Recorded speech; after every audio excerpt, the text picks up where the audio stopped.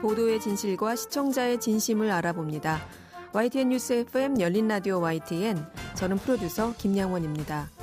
2020 도쿄 올림픽 대회 9일 차입니다. 무덥고 불쾌 지수도 높고 코로나 상황으로 밖에도 못 나가고 그나마 우리 선수들의 올림픽 경기가 좀 위안이 되시나요? 그런데 올림픽 시작 전부터 일본 내에서는 물론 국내에서도 독도 표기, 도시락, 침대, 이순신 장군의 글귀 현수막 철거 등의 이슈로 쓴소리가 많았던 것 같습니다. 심지어 세계 평화를 기리는 올림픽 개막식에 일본 군국주의의 상징인 기미가요가 재창되자 이래도 되는 건가? 비판하는 언론 보도도 여럿 나왔는데요. 기미가요가 언제부터 일본 국가였는지 몰랐다는 분들도 많습니다. 잠시 후 팩트체크에서 자세히 알려드리겠습니다. 7월의 마지막 날입니다. 7월 31일 토요일 순서 바로 시작하죠.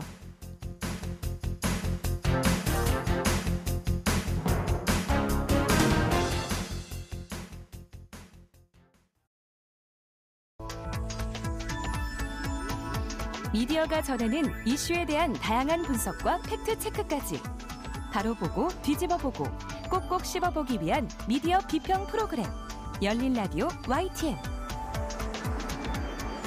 지난 한 주간 있었던 뉴스들 가운데 사실 확인이 필요한 뉴스를 fact check해 봅니다. fact check 전문 미디어죠. 뉴스톱의 송영훈 fact checker 전화 연결돼 있습니다. 송 기자님 안녕하세요. 네, 안녕하세요. 네. 자, 2020 도쿄올림픽이 한창이죠. 네. 네, 코로나 상황 악화, 또 푹푹 찌는 날씨에도 우리 선수들의 선전 소식에 정말 오랜만에 즐거운 마음으로 TV를 보게 되는데, 연일 그 한일 간의 신경전이 계속 보도가 되더라고요. 네. 네, 일단 올림픽 개막식에서 일본 군국주의의 상징인 기미가요가 울려 퍼졌는데, 네. 그런데 이 기미가요가 일본 국가 아닙니까? 네, 일본 국가가 맞습니다. 네. 음, 스포츠 정신에 입각해서 어떤 정적인 행위를 하는 것을 금지하는 올림픽인데요. 여기에서 일본 군국주의 상징인 기미가요가 불려졌다. 이런 점은 특히 언론을 통해서 많이 알려졌는데요. 우선 연합뉴스가 23일 일 톱가수 군국주의 상징 논란 국가 기미가요 불러라는 제목 기사를 출고했습니다. 그 도쿄올림픽 개막식에서 일본의 정상급 가수인 미샤가 이 궁극주의 일본을 상징한다는 논란이 있는 김가요를 불렀다는 내용입니다. 네. 음, 그런데 이와 관련해서요, 한 트위터 이용자가 지금 도쿄올림픽 개막식 보고 있는데 뭐 노래가 나오니까 이 할머니가 듣자마자 따라 부르시길래 뭔데 이런 걸 아시냐 했더니 김효를 안 부르면 엄청 맞았다. 어릴 때 말씀이시겠죠? 그래서 알고 있다고 음. 이런 내용이 글을 올렸고요. 이게 좀 반향이 커서 2만 8천회 이상 리트윗이 됐습니다. 네. 소셜미디어에서 화제가 되니까 언론이 좀 받아 썼는데 이대리기는 이 내용을 도쿄올림픽에서 김가요 나오자 따라 부르는 할머니 소름 돋아라는 제목으로 기사화했고요. 네. 또이 기사는 포털 사이트 많이 본 순위 올랐습니다. 뭐 여기까지는 평소나 요즘 한일 관계를 감안하면 좀 나올 수 있는 기사인데 이 이후에 좀 더 자극적인 제목 기사들이 나왔습니다. 음, 한 인터넷 매체는 일본 왜 이러나 일 톱가수 도쿄올림픽 개막식에서 기미가 열창한다. 뭐 또 다른 매체는 궁극주의 상징 기미가 꺼낸 도쿄올림픽 배려 없는 일본 이런 식의 제목의 기사를 출고했습니다. 네. 기미가요. 우길기와 더불어서 일본 군국주의의 상징이긴 하지만 일본 국가잖아요. 네, 맞습니다. 네. 음, 그리고 유래를 찾아보면 일본은 이 1945년 2차 세계대전 패전 이후에 이 공식적으로 국가가 없었습니다. 그 당시 이제 유엔 사령부 일본의 진변이후 사령부들이 못 쓰게 했는데요. 네. 어, 이 그렇지만 이제 군국주의 시대에 세우던 기묘가요가 그 이후에 꾸준히 그냥 사실상의 국가로서 사용됐고요. 네. 그러다가 1999년 10월 제정 일본에서 제정된 국기 및 국가에 관한 법률에 의해서 법적으로 기묘가요가 다시 국가가 되었습니다. 음. 음, 당시 좀 논란이 좀 있었는데 일본에서도 그렇고 한국에서도 그렇고요. 이 이를 보도한 공식 기사를 보면은 이 서울신문 같은 경우 히노마루와 기미가 히노마루 히노마루와 기미가요에는 일본 제국주의 역사가 패여 있다. 히노마루를 앞세우고 기미가요를 부르며 일본이 벌였던 침략전쟁의 희생자인 아시아 이 국가들에는 일본 군국주의가 자행했던 과거사를 다시 생각나게 한다고 했습니다. 네. 히노마루는 이- 일본의 국기. 네, 네. 일장기. 네. 네. 그래요. 기미가요가 애국가처럼 일본의 네. 국가라 해도 우리나라 입장에서는 일본 군국주의의 기억이 아직도 사실 생생하잖아요. 네. 그렇다 보니까 이런 문제 제기가 나오는 거는 어쩌면 당연하다 싶은 생각도 들거든요. 네, 이 기미가요의 가사 중에 천황의 치세는 천대에서 팔천대까지 이어지리라 이런 내용이 있습니다. 네. 뭐 이걸 보면 우리 해방된 지 이제 76년이나 지났지만 이 일본 식민지를 경험한 우리나라 같은 경우는 여전히 예민한 부분이거든요. 네. 예, 그러다 보니까 2009년 4월에 그 일본에 진출했던 한국 연예인이 있었는데요. 이분이 일본 예능 프로그램에 출연해서 이 기미가요가 나오는 것을 듣고 기립박수를 쳐서 파문이가 된 적이 또 있었습니다. 네, 기억납니다. 예, 본인은 모르고 했다고 해- 나중에 해명을 하긴 했는데요. 네. 또 2014년에는 JTBC 예능 프로그램 비정상회담에서 이 일본 출연자에 대해서 기미가요를 배경음악으로 썼다가 또 논란이 일었습니다. 음. 이 논란이 좀 커지면서 당시 방통심의에서 이 방송심의에 관한 규정 제25조 윤리성 위반으로 경고를 내렸습니다. 어, 김이 일본 출연자인데 네네. 어, 배경음악으로 쓴. 거죠. 네. 네. 네. 그리고 근데 최근에는 조금 다른 상황도 있었는데요.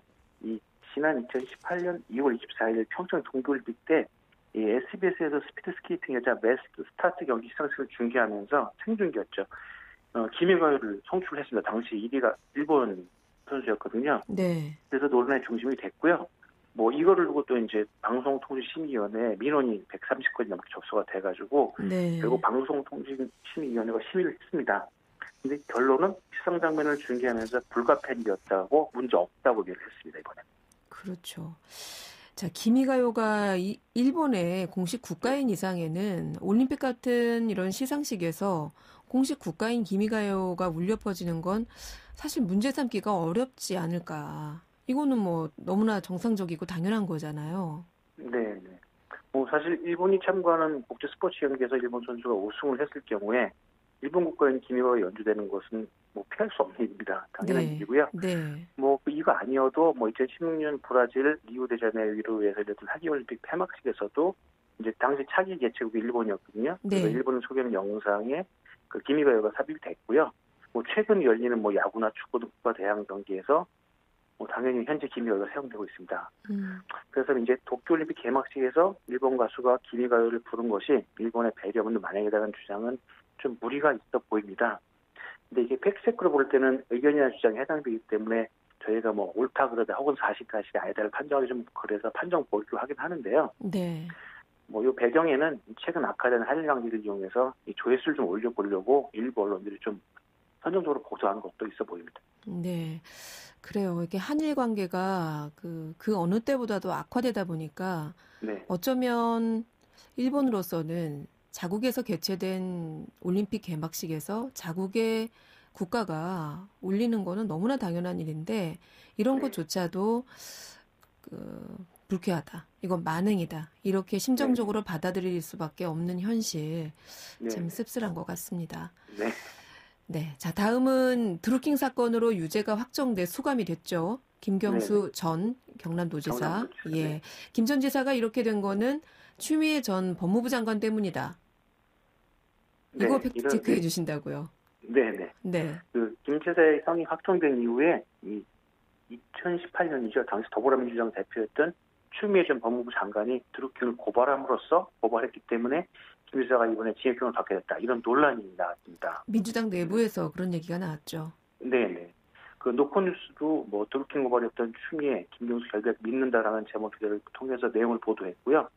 이 현재 더불어민주당 대권 주자 중에 하나인 김두관 의원은 이 추미애 전 장관에 대해서 노무현 전 대통령을 탄핵하는 데 찬성했고 윤석열 전 검찰총장을 대선 후보 1위로 만든 책임도 있고 드루킹을 고발해서 김경수 지사가 사퇴하겠다면서 자살골 해트트릭 선수 이렇게 비교하기도 했습니다. 네. 이 내용이 많이 회자가 됐는데 네. 자, 그러면 추미애 전 장관 당시의 당 대표 드루킹을 고발한 게 사실인지부터 좀 확인을 해 볼게요.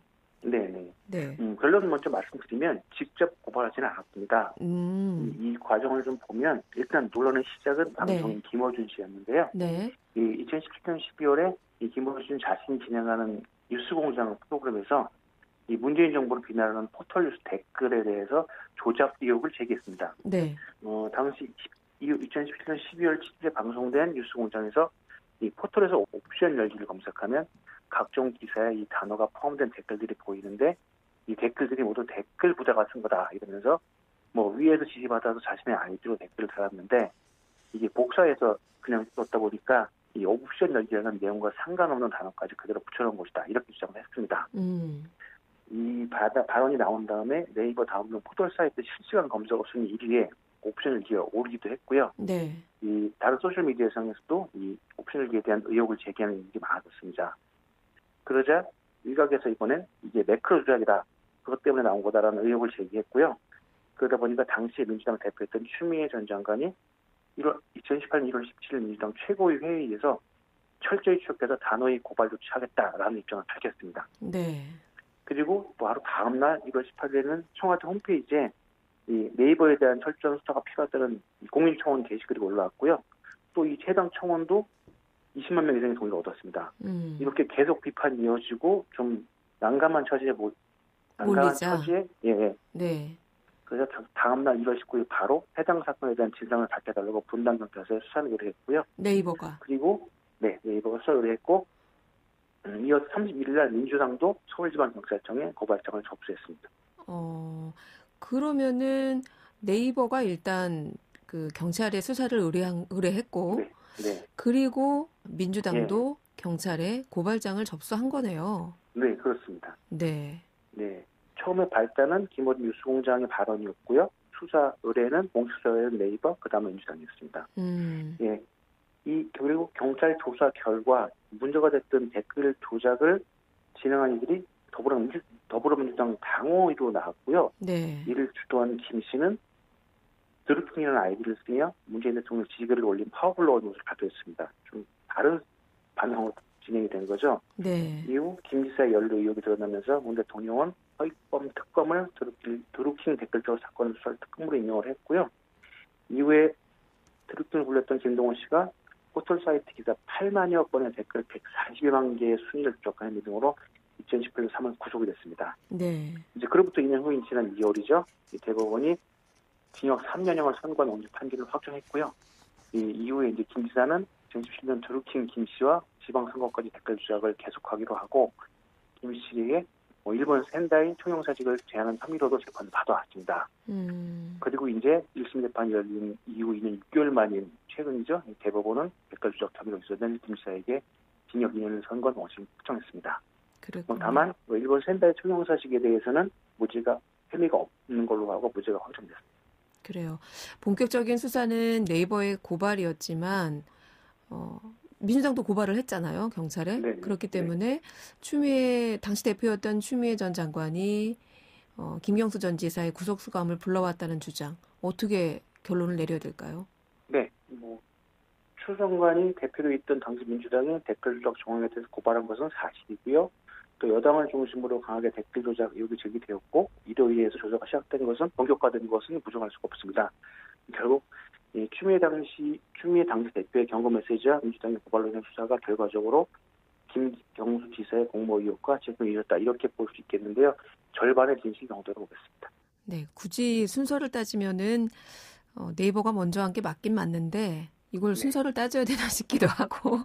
네, 일단은 송영훈 기자님은 어, 절반의 진실로 네. 네, 이렇게 판정하셨습니다. 자, 네. 세 번째 팩트 체크.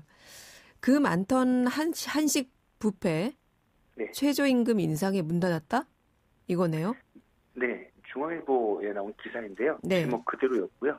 이 내용은 수년 전 한때 전성기를 누렸던 대기업 계열 한식 뷔페 사업, 외식 사업에 위축되고 있는데 그 이유가 최저임금 때문이라는 내용입니다. 음, 음, 기사 내용 보면은 2017년까지만 하더라도 대기업이 운영하던 한식 뷔페는 승승장구했다. 2017년 17년 말 기준으로 빅3로 불리던 뭐 CJ그룹의 CJ 푸드빌의 계절 밥상은 54곳, 이랜드 그룹 이랜드 이츠의 자연별곡은 44곳, 신세계그룹 신세계 푸드의 올반은 15곳 등 모두 113곳의 한식 뷔페가 운영됐다. 그런데 2018년부터 내리막길을 걷게 됐다. 2017년 대선 당시 문재인 후보가 임기 내 최저임금 1만 원 공약을 내세우면서 대통령 취임 직후 6,470원이던 시간당 최저임금을 2018년부터 7,530원, 으로 천원 인상했고 이렇게 급하게 올린 게 결정적 이유라는 게 업계 설명이다 이런 내용입니다. 네. 그러면서 익명의 업계 관계자를 이용해 아르바이트 인건비가 오르자 비용을 감당할 수 없었다. 영업 이용률이 한 자릿수 수준인데 인건비를 두 자릿수로 올리면 사업을 하지 말라는 얘기가 같다. 이렇게 했습니다. 네. 그 사실 계절밥상, 자연별곡, 올반 이런 게 한때 진짜 유행했었거든요. 네, 예. 저, 저도 점심 때 직원들하고 많이 다녔어요. 네, 한식이고 해서 네. 많이 이용했었는데 어느 순간 보니까 네. 다 사라졌더라고요. 네, 매장이 많이 줄었습니다. 네, 사실 저도 이 기사 보고 의아하긴 했는데 네. 이게 정말 그 최저임금 상승 때문일까요? 네, 그래서 해당 업체 그세 곳에 전화를 확인을 했습니다. 네. 근데 답은 이제 반응은 그 중에 한 곳도 이 한식 뷔페 사업 축소의 결정적 원인을 최저임금으로 제공한 것은 없었습니다. 음. 이뭐 영향을 줄 수 있었겠지만 이세곳 모두 매장 축소는 전반적인 외식업계 트렌드의 변화에서 비롯했다고 보고 보는 게 맞다라고 답을 했습니다. 네. 이 한때 이제 외식업계 대세였던 패밀리 레스토랑이 이 고객 선호 변화에 따라서 좀 퇴조한 것과 마찬가지라는 설명인데요. 음. 이게 한식표가 처음 선보였을 때에는 뭐 15,000원 안팎의 가격에 다양한 메뉴를 맛볼 수 있어서 주로 직장인들 중심으로 인기를 끌었는데 이게 외식 트렌드가 변하면서 이제는 고객들이 많이 가지 않게 된 거죠. 네. 또 이 한식집의 특징이 이 다양한 여러 가지 메뉴를 준비해야 하는 특성상 마진이 낮기 때문에 이 매장을 방문하는 고객이 일정 수준을 넘어야 사업을 유지되는데 이 트렌드 변화와 함께 지난해 코로나19가 확산되면서 이제 고객 감소가 직결적인 영향을 받은 거죠. 이렇게 음. 설명을 했습니다. 그렇군요. 우리 송영 기자님이 직접 해당 업체 세 곳에 네. 직접 취재하셨다니까 네, 네 인정하겠습니다. 네. 한식 뷔페가 문을 닫은 건 최저임금 인상 때문만은 아니라는 결론. 네. 네. 알겠습니다. 오늘 여기까지 들을게요. 고맙습니다. 네, 네 감사합니다. 네, 지금까지 뉴스톱의 송용은 팩트체커였습니다. 진실을 전합니다. 진심을 다합니다. 시청자 여러분의 목소리에 귀 기울이는 YTN 뉴스 FM 열린 라디오 YTN 토요일 저녁 8시 20분에 방송됩니다. 한 주간 YTN 라디오에서 방송된 프로그램들을 모니터링하고 평가해보는 시간입니다. 오늘은 박채린 시청자 평가원 전화 연결돼 있습니다. 평가원님 안녕하세요. 네, 안녕하세요. 네, 이번 주에 모니터링한 프로그램 어떤 것입니까?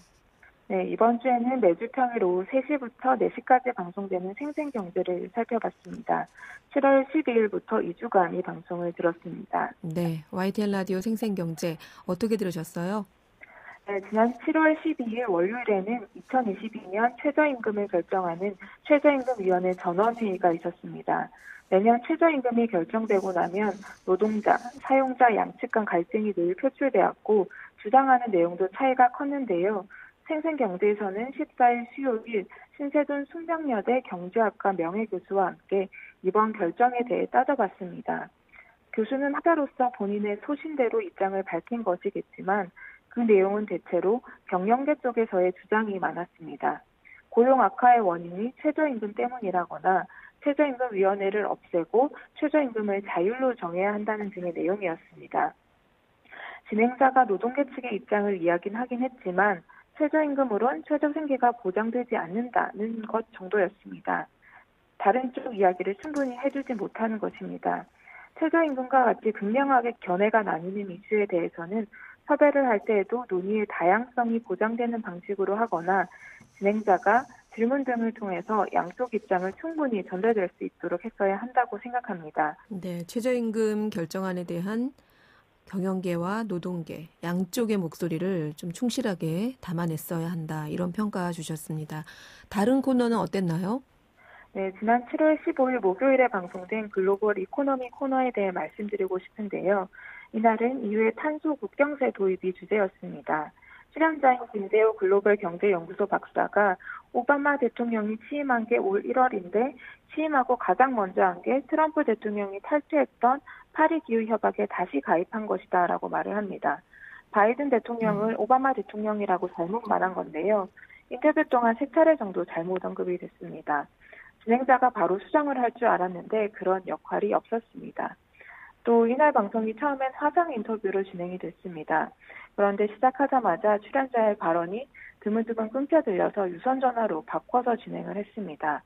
처음에 확인을 했더라면 방송 중에 전화를 재연결하면서 인터뷰가 지연되는 일은 없었을 텐데 하는 아쉬움이 남았습니다. 네, 미국 현직 대통령 이름이 세 차례나 잘못 언급이 됐고 화상 전화 연결이 불안정했다. 네, 요즘 저희가 코로나 때문에 스튜디오 출연보다는 화상 전화 연결을 많이 이용하고 있는데 이렇게 불안정한 일이 종종 있는 것 같습니다. 네, 또 다른 모니터링 내용 있을까요? 네, 주제가 한쪽으로 쏠려 있거나 생생 경제와는 무관한 내용을 다른 코너가 있었다는 점을 이야기하려고 합니다. 먼저 7월 22일 목요일에는 똑똑한 소비 생활이라는 코너가 방송됐습니다. 현명한 소비자로 거듭날 수 있는 정보를 전달해 준다는 게 이 코너의 취지인데요. 이날 내용은 캠핑 용품에 관한 안전사고, 식, 식중독 등이 줄을 이뤘습니다. 이 내용이 경제와 관련된 이야기는 아니었기 때문에 생생 경제와는 조금 어울리지 않는다고 판단을 했습니다. 다음으로 7월 19일 월요일 방송에 물가를 다루는 코너 두 개가 연달아 있었다는 점을 말하고 싶습니다. 이날 생생 이슈 인터뷰에서는 라면 가격 인상에 대해 다뤘고 바로 다음 코너에선 생생 장바구니 물가라고 해서 지난주 주요 식료품 물가 동향을 알아봤습니다. 물가는 청취자에게 실질적으로 도움이 되는 정보이긴 합니다. 다만 이날 방송의 절반이 물가가 주제였던 셈인데요. 또 이날 두 코너의 내용들은 단순 정보에 가까웠습니다. 물가는 청취자에게 청취자가 쉽게 체감할 수 있고 또 청취자와 소통하기에도 좋은 주제인 것 같은데 출연자 이야기만 듣고 끊은 게 아쉬웠습니다. 예전엔 청취자 댓글도 적극적으로 소개를 했었는데 어느 순간부터 그런 부분이 사라진 것 같습니다. 네, 뭐 라디오 생방송의 맛이라고 해야 할까요? 청취자와 실시간으로 소통이 가능하다는 것인데 어, 이번 주제처럼 이렇게 소비자 물가 이런 체감되는 경제 관련 주제는 더욱이 청취자 의견을 좀 소개했으면 좋았겠다라는 의견이셨습니다. 오늘은 YTN 라디오 생생경제 프로그램에 대한 시청자 평가원의 의견 들어봤습니다. 오늘 말씀 고맙습니다. 네, 감사합니다. 네, 지금까지 박채린 시청자 평가원이었습니다.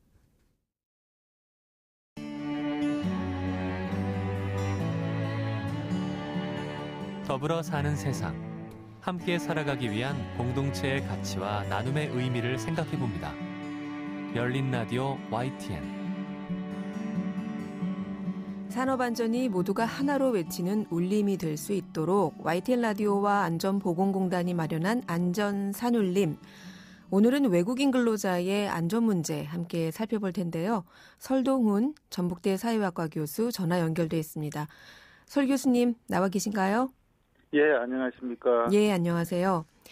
자, 올림픽에 국민들의 관심이 집중된 사이에도 안타까운 산재 사고가 이어졌습니다. 이번 주에는 18시간이나 연속해서 근무하던 외국인 노동자가 숨지는 소식이 있었다고요?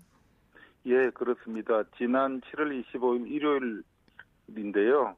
한 플라스틱 제조 공장에서 일하던 프라, 어, 스리랑카 출신 외국인 노동자가 작업 중 사고를 당했습니다. 납기일을 맞추려고 18시간 연속 근무를 하고 있었는데 검형 틀를 이제 교체하기 위해서 압축기에 상체를 넣었다가 압축기가 갑자기 작동해서 사고가 발생했고 그 변을 당한 것으로 지금 조사가 되고 있는 것으로 알고 있습니다. 네, 작업 중에 기계에 끼어서 사고사를 당한 건데 그 관리 감독자는 있었던 건지 어, 좀 따져봐야 될 것 같은데요. 어떻습니까? 예, 지금까지 알려진 내용을 따르면 현장 내국인 관리자가 있었는데 퇴근한 상태였고요. 음. 그 사고가 발생했을 때는 외국인 노동자 3명만 일하고 있었다고 합니다. 네.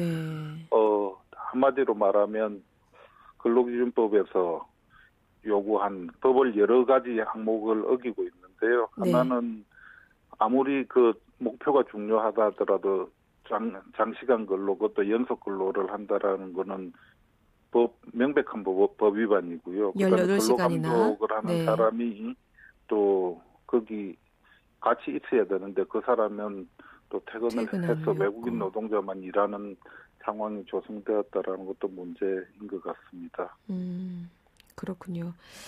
자, 이렇게 그 우리나라에 들어와서 일을 하다가 일터에서 사망하는 외국인 근로자들 얼마나 됩니까?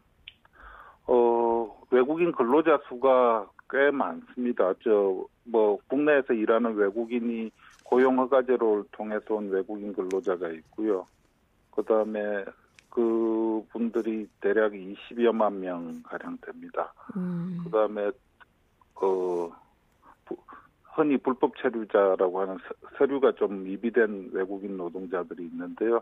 우리나라 법원에서는 그분들도 분명히 근로자라고 인정을 하고 있고요. 불법 그분들까지 불법 체류일지라도 해서 네네 네. 그분들도 가량 대략 한 20만 명 가량 되는 것으로 알려져 있습니다. 음, 그럼 적어도 40만 명 이상 국내에서 일을 하고 있는데 네. 금방 산재 사고와 그 중에 사망 사고인데요. 2019년 통계가 가장 최근, 최근 것인데 연간 855명 정도가 된- 그 한국인 전체이고요. 855명 중에서 104명 외국 전체 한국인 노, 노동자 중의 외국인 노동자 비율을 따져보면 굉장히 높은 걸알 수가 있습니다. 음, 이거는 왜 그러느냐 하면 어 외, 외국인 노동자들이 일하는 업종 또는 직종 자체가 네. 그이 산재 비율이 높은 그 흔히 말하는 3D 직종이라는 거죠. 네. 일하기가 어렵고 위험하고 해서 기피하는 직종의 외국인 노동자들이 모여 있다. 그래서 음. 연간 100명 가량의 외국인 노동자가 산재 사고로 돌아가신다.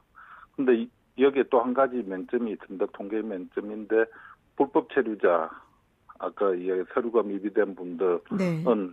이 통계에 포함이 되지 않고 있다라고 볼 수 있는데 불법 체류자들이 일하는 부분이 상대적으로 근로 조건이 더 열악한 취약한, 곳이다라고 네. 생각을 충분히 그는 유추할 수 있습니다. 그렇군요.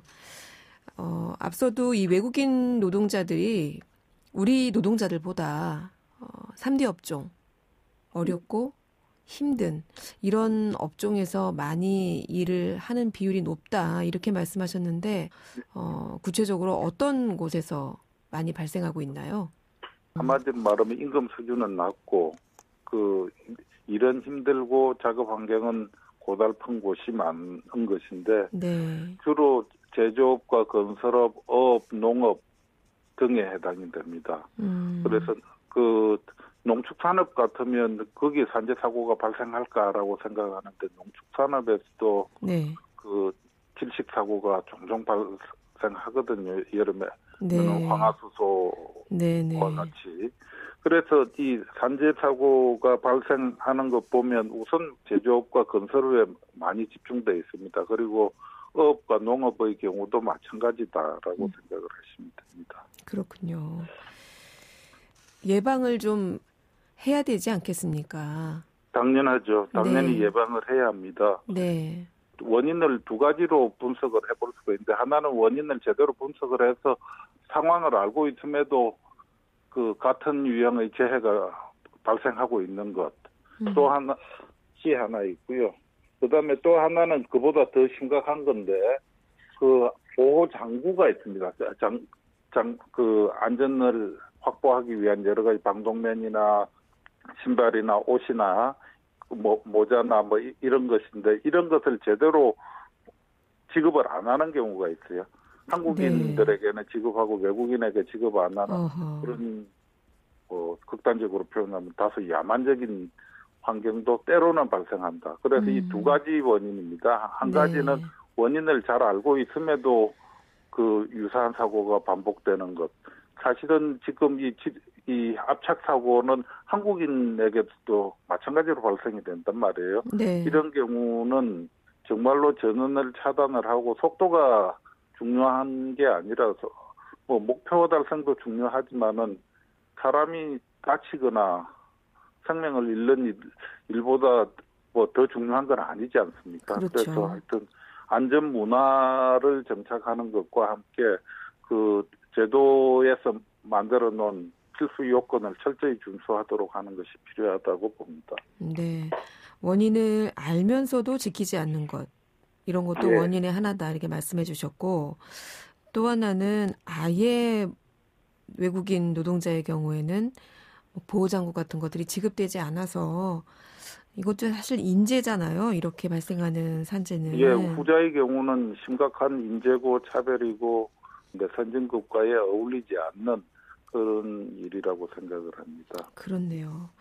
앞서서 이 불법 체류 신분일지라도 어, 한 20만 명 정도 추산된다고 말씀해 주셨는데 이런 분들도 사실은 산재 사고에 있어서 그 치료나 어, 네. 보상을 받을 수 있는 대상이 된다 이렇게 말씀해 주셨어요.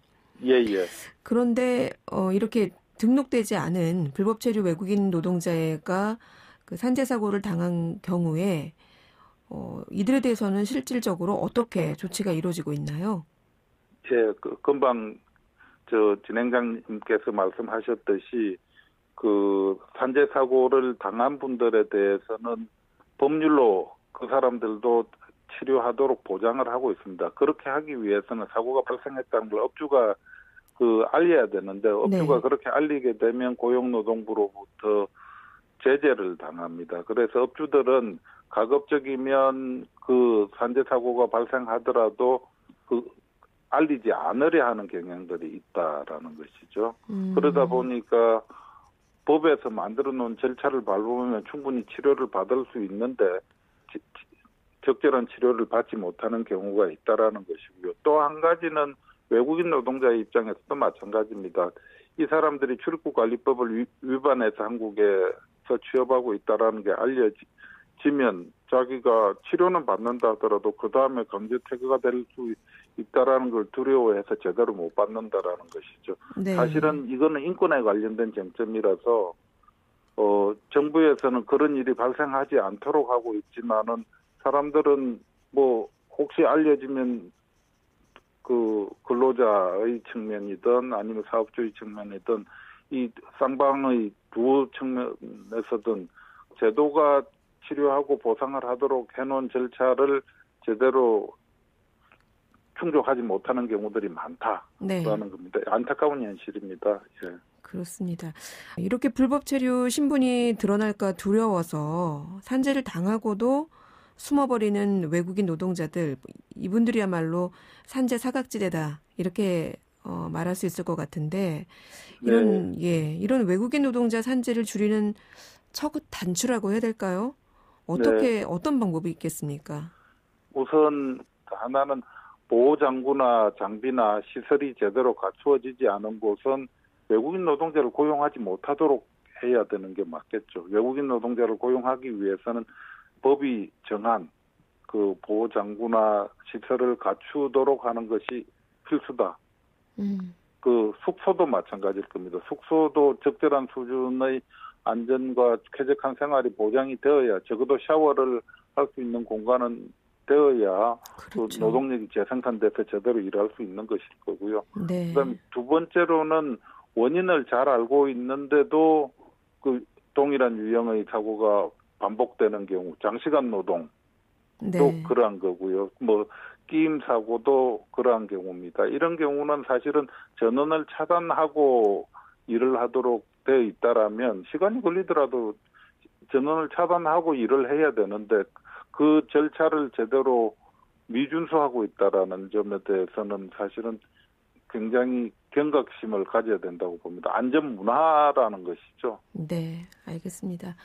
뭐 연일 30도가 훌쩍 넘는 폭염이 계속되고 있습니다. 이럴 때 어, 야외에서 일하는 건설 현장 또는 아주 환경이 열악한 소규모 제조업장의 경우에 아, 어떻게 과연 일, 일들을 하고 계실까 걱정이 많이 되는데요. 정말 네네. 안전하게 조심하셔서 일을 하셔야 될 것 같고요. 요즘처럼 고도로 분화하는 산업사회에서 뭐 건설업이나 소규모 제조업의 경우에 외국인 노동자의 유입을 멈출 수는 없는 현실이죠. 일터의 네, 동료로서 함께 성장해 가려면 이런 외국인 노동자의 안전 또한 간과해서는 안 될 텐데요. 외국인 노동자와 함께 안전하고 건강한 일터를 만들기 위한 길 오늘 설동훈 교수님과 함께 말씀 나눠봤습니다. 오늘 말씀 고맙습니다. 예, 고맙습니다. 네, 지금까지 설동훈 전북대 사회학과 교수였습니다.